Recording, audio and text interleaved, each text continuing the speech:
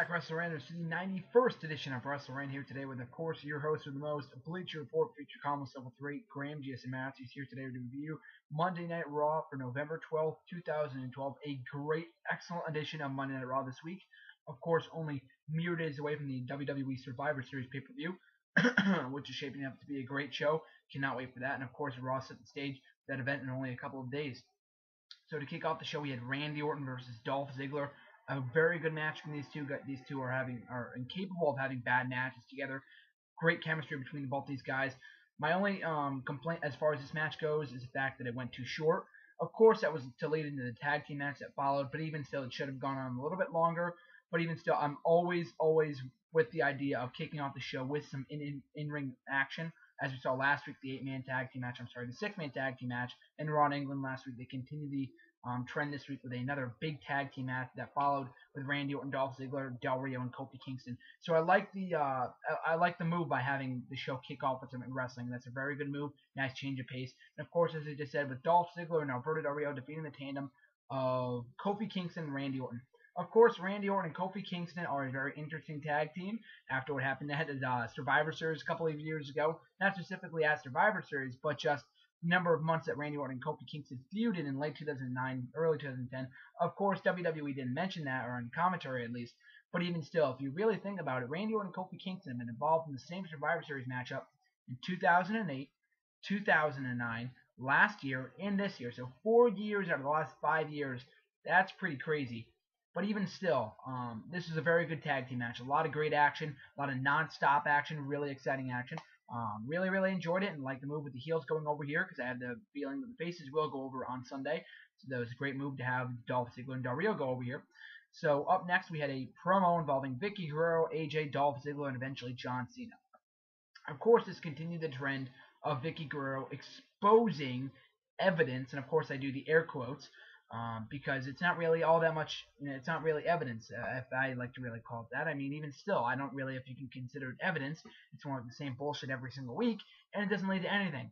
Of course, as I've said time and time again on spoilers, Save Us GSM, and on this show, of course, it's PG. You're not going to show a sex tape or anything. It's it's a PG angle. It's Claire Lynch in WWE.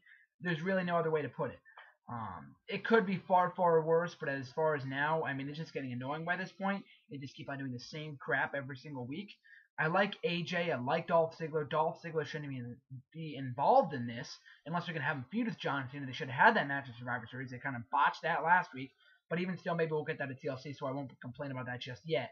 But even still, AJ is a great character. If only this ends in her turning heel or having her pair up with Dolph Ziggler then I'll be for it. I'll be excited for that. But if this doesn't really lead anywhere at all, then this is just one big waste of time. I mean, it had some potential at the beginning three weeks ago when it started, but right now I'm not really feeling the storyline at all. So up next we had a brief squash match. The World Heavyweight Champion Big Show squashing William Regal. Yes, William fucking Regal, my my guy, the guy that got me into wrestling four and a half years ago, the guy that I mark out for every single time he appears on television. I believe this is his first Monday Night Raw singles match since December 2010. Of course, those of you watching can correct me on that, but that's as far as I know that he, that's that was his last singles match on Raw. So safe to say, I was marking the hell out when I saw William Regal in the ring for his match against the World Heavyweight Champion.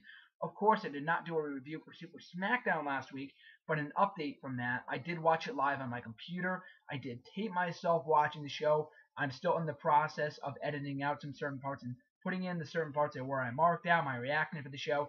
It's gonna be a little late by this point, but I'm still gonna put it up regardless, just to see, just for people to see my reaction to William Regal being on the show in England. That was absolutely amazing. I thank WWE for putting Regal on uh, Raw last week and a brief cameo appearance on SmackDown last week, as well as Raw last night.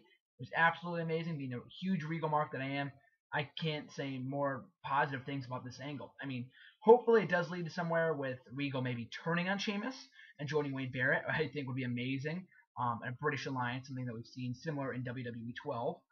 But um, or have Regal go for the World Championship. I know that's wishful thinking, but even still, anything's possible. So we move forward to our next matchup on the card. We had Layla defeat Kaitlyn. I literally missed this match. I mean, my live stream was acting up. The match was about a minute, but from what I did see, it was okay. Um, basically, what you'd expect, as I just said, about a minute. So there's really nothing I could say about this anyway. But I can say that with Kaitlyn going over here, becoming the new number one contender for the Divas Championship, and will be getting her shot at the title at Survivor Series on Sunday.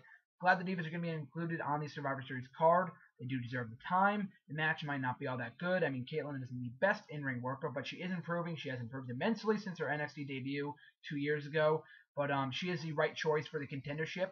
They had the story background with her and the Eve and the iPad thing that they've got that they've got going on in recent weeks, and the United Champions thing that's been extending for nearly two months now. Um, so at least we're finally getting a story in the Divas division, although it's not that good. But I'm glad to see Kaitlyn. I like Kaitlyn. I'm glad. I'm looking forward to this Divas title match on Sunday. Now, speaking of such, my Survivor Series predictions video will not be included in this because, of course, Raw is three hours long, so I can't fit it all into one video. But my Survivor Series prediction video will be available later this week, or so I hope. So up next, we had a very strong promo from the WWE Champion CM Punk after he involved, after he interrupted the returning Jerry Lawler, Jerry the King Lawler's promo that also involved Mick Foley. A lot of things to say about this. First of all, I really enjoyed uh, Jerry Lawler coming back. As I've said in past videos, I said back in August, I've said time and time again, I'm not Jerry Lawler's biggest fan as far as wrestling goes or commentary or whatever. With that being said, I respect the hell out of the guy. Very glad he's back. Um, thrilled to see him fully recovered, only two months removed from his heart attack on Raw. So that's insane. Not many people can say that. But um, I do dislike JR being taken off commentary. I do think that he could have stayed on commentary. They could have made a fantastic three-man booth, especially without Michael Cole's bullshit heel tactics. So um, that would have been nice. But I guess I don't know what they're doing with that as far as JR goes going forward. But even still, Lawler's uh, promo very heartfelt. Really enjoyed it. Having him hug JR and Cole, very nice moment. CM Punk interrupting, kind of logical. I predicted this a couple months ago, but um, even still, it was kind of a desperate way to get heat for CM Punk, but it was brilliant at the same time. I really like CM Punk, but I'm not going to let my bias get in the way here and say that the heart attack of Paul Heyman was tasteless. It was unnecessary. It was just crossing the line straight out. Did not enjoy that. I mean, the promo, as far as what Punk said beforehand, taking shots at Lawler's health, that was awesome. I'm not saying not any disrespect to Lawler at all, but what CM Punk's mic work was amazing. It was absolutely amazing. The guy is a god on the mic, and this is some of his better mic work in recent weeks where he's not repeating the same stuff over and over again, especially given the history between the two guys. So I really enjoyed that. Of course, this would have not have happened if Jerry Lawler was not okay with it. So keep that in mind. Jerry Lawler was, of course, aware of the situation. He knew that they were going to be doing the angle. But even still, just because he was okay with it doesn't mean it was right. Having the heart attack with Paul Heyman and all that stuff, that was unnecessary it, I find it a bit strange they're doing it after election day with all that shit with Linda McMahon goes. I mean, now they're doing this after Linda McMahon's on the Senate run race anymore, but whatever. Even still, the Foley promo was also very, very good. A lot of good intensity there. I've loved Mick Foley on the mic with CM Punk in recent weeks or in the last few months. They made magic here again, even though they're not going to be involved in the same match on Sunday. But even still, great work there. Up next, we had an eight-man tag team match with Rey Mysterio, Tyson Kidd, Justin Gabriel, and Sin Cara defeating the tandem of the primetime players, Primo and Epico. A very, very fun, explosive matchup. Really enjoyed this. A lot of, lot, uh, got a lot of good time. Um, all eight guys shined. The closing moments of the match, very, very fun with everyone hitting their finishers and having Justin Gabriel pick up the victory. I knew that Rey Mysterio was going to pick up the 619 or connect with the 619 on the Primo. I did not think that Justin Gabriel would get the pin here, so that was a very nice touch, getting him the spotlight that he needs to be launching the mid card. But um, even still, this is what the WWE Tag Team Division these days, you know, is all about. This non-stop action. I'm loving it. Tag Team Division Resurrection. I've said time and time again. I've been really, really enjoying it. Great move on WWE's part. So up next, we had a kind of a decent match between R-Truth and Tensai. Truth picks up the victory here, and Tony Cesaro on commentary, having Cesaro bash the troops um, on Veterans Day, I guess was very fitting. So I, have, I don't have any problem with that. Finally, some good heat for uh, Cesaro. As far as uh, Truth and Cesaro thing goes, um, I like it. I mean, Cesaro, since he won the United States Championship three months ago, hasn't really had any legitimate contenders. He's had a lot of joke contenders in the form of Zack Ryder, Santino Marella, Brodus Clay. They're all good opponents, but they really haven't done anything for Cesaro, Cesaro at all. The thing with Justin Gabriel only lasted a week.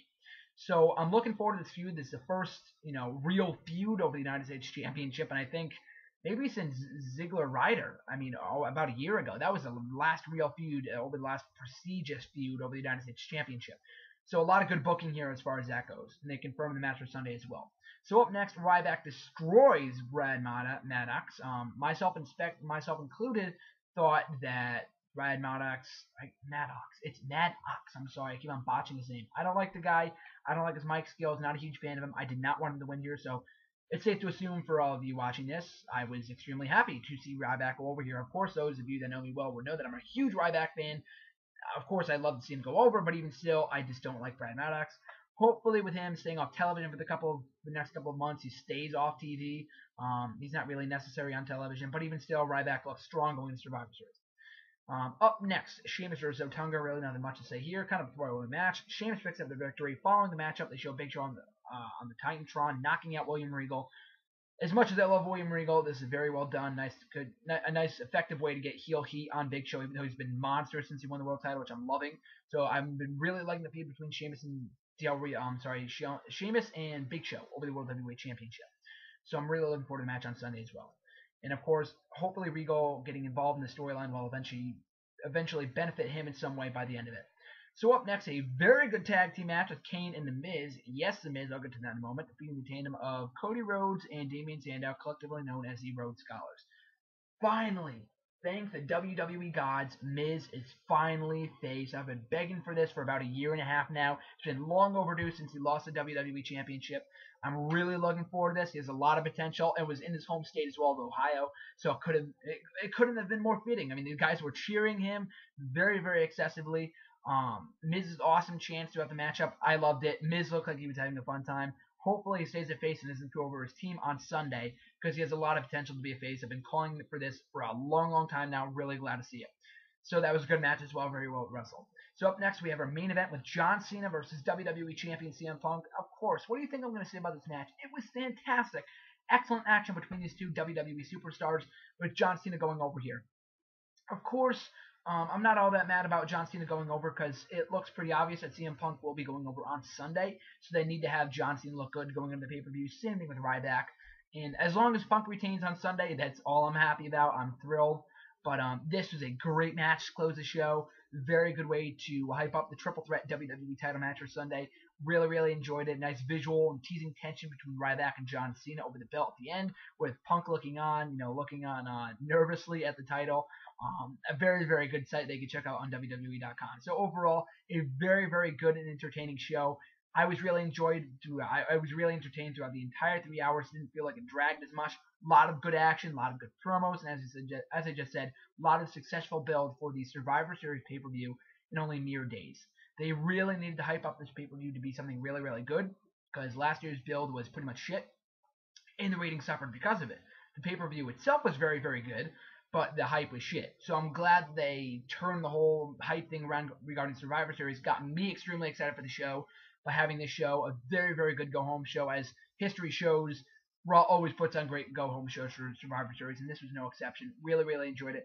Loving your thoughts on the show, guys. Make sure to tweet me up on at, on Twitter at same underscore underscore GSM. Make sure to subscribe for all my latest videos and whatnot. I really do appreciate it. And as I just said earlier in the video, I will be uploading my Survivor Series predictions in another video later in the week, so make sure to stay tuned for that. Thanks for watching, guys. Enjoy your week, and this is GSM signing out. Till next time, guys.